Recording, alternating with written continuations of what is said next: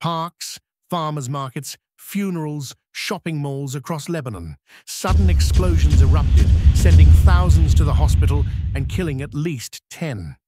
This is a true event from the world of espionage, surpassing the imagination of any Hollywood 007 movie. Shocking not only the Islamic world, but the entire global military and technology communities. On the afternoon of September 17th, thousands of pagers across Lebanon exploded at the same time. The pager explosion was said to target Hezbollah, a Lebanese armed political organization. The explosion killed and hospitalized nearly 3,000 people across Lebanon.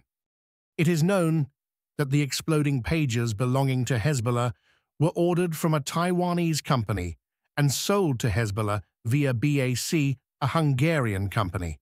This company turned out to be a shell company and was said to use their brand for selling products and that they were not involved in the manufacturing process. The above machines were interfered with by implanting explosives and remote detonation devices next to the battery. The explosive devices used were light, weighing only 28 to 56 grams. The time of interference was certainly before they were imported into Lebanon. So how were all the pagers detonated? A unique code was programmed to cause the pager to detonate the explosives. When that code was sent over the messaging network, all the pagers went off at the same time and exploded at the same time.